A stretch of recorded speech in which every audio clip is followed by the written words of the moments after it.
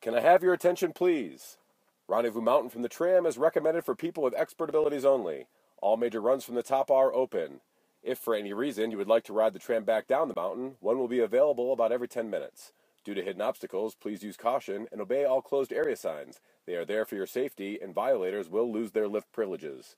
There is a mountain host available at the top of the tram should you need assistance or have any questions.